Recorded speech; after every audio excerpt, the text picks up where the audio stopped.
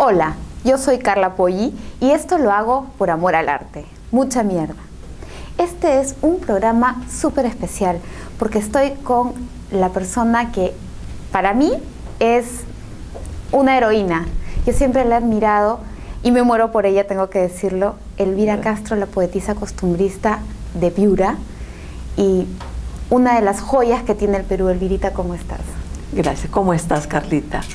Es maravilloso verte nuevamente. Antes de que nos recites este poema que a mí me fascina y que te lo voy a pedir como un regalo y como un regalo para todos ustedes, que se llama Soy un damnificado. Así es. Cuéntanos de qué trata el poema. El poema este, fue cuando el desastre del río, fascineroso, como lo digo en el poema, que se salió de su cauce y entró a la ciudad como Pedro en su casa. Hizo lo que quiso, destruyó, y no solamente a la ciudad, también a los caseríos. Sí, pues hizo mucho daño, ¿no? Sí, hizo mucho daño. Es por eso que yo tomo la voz del pueblo, identificándome con un campesino, y que le increpa al río todo lo que ha hecho. Toda su maldad.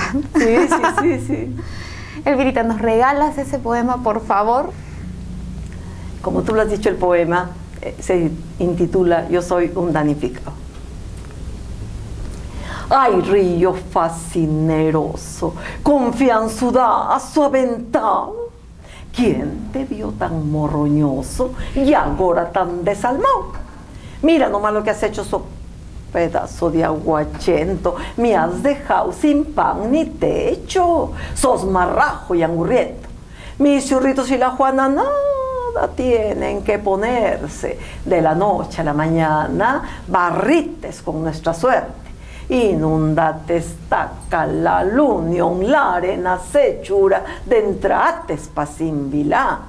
Qué tamaña salisura lo que ha hecho tu maldad y a mi compadre Torcuato, que residía en la Unión, lo dejaste tan calato que el prove se fue al cajón con una mano delante y lo trita por atrás. Ahora que sos gigante que abusa sin más ni más. Si me parece mentira verte querido tanto, ¿para qué me dejes sentiras? Bañadito por mi llanto.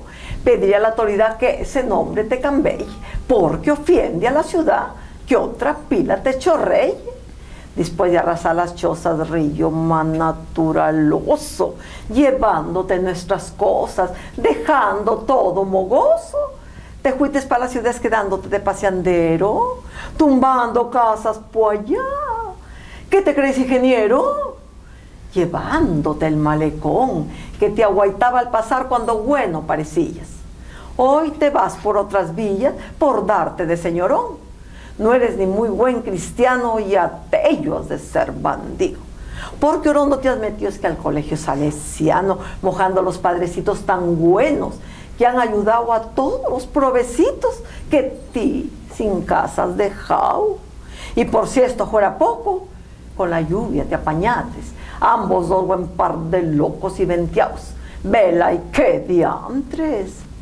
Y es que echale culpa al niño ese que es de la corriente ya voy a creer que ese lampiño puede hacer daño a la gente.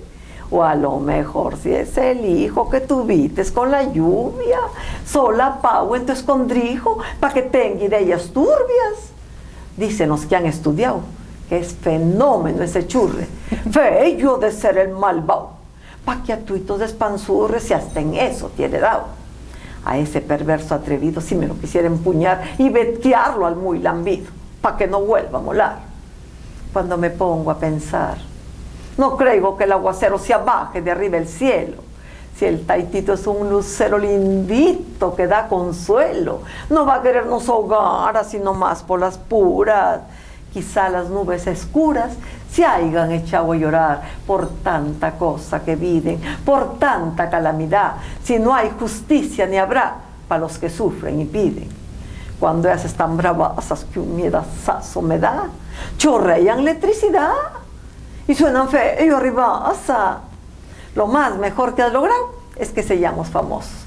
Porque hasta a mí me han sacado en toda la televisión dando mi declaración al José Castro Machado y a un joven bien educado del Buenos Días Perú que nos saluda todo el año. y que habla también del ñaño, de las lluvias y de tú. Ojalá me haya guaitado mi compadre Fortunato, el que vive en el Callao, más que me veía calato, eso sí, muy bien hablado. Por ahí que me han informado que nos mandan calamina, comida sin medicina, por uno y por otro lado. Quizás se lo han agarrado algunas malas personas, porque a mí nada me han dado.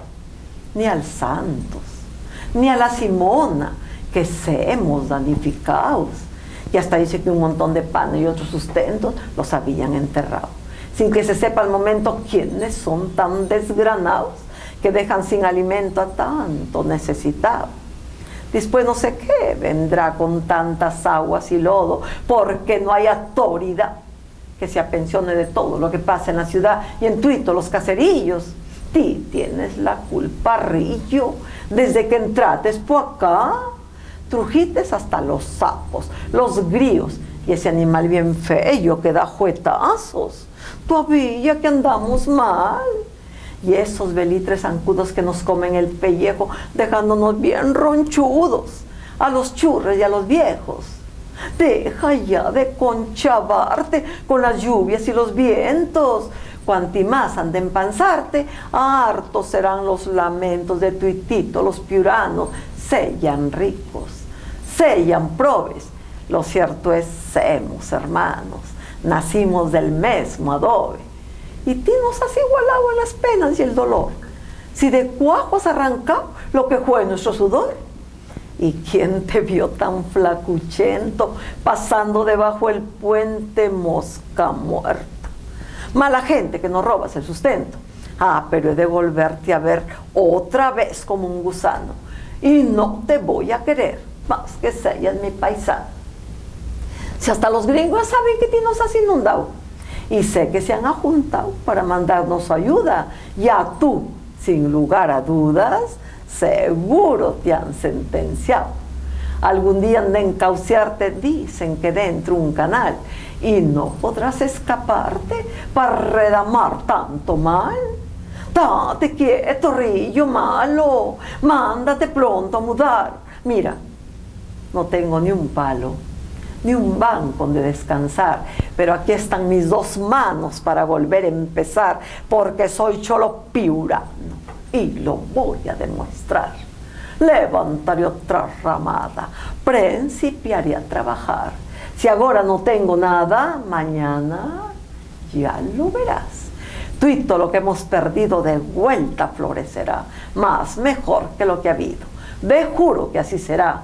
Y ti, río perecido que has traído solo pesar, tiras por donde has venido, que estoy harto de aguantar.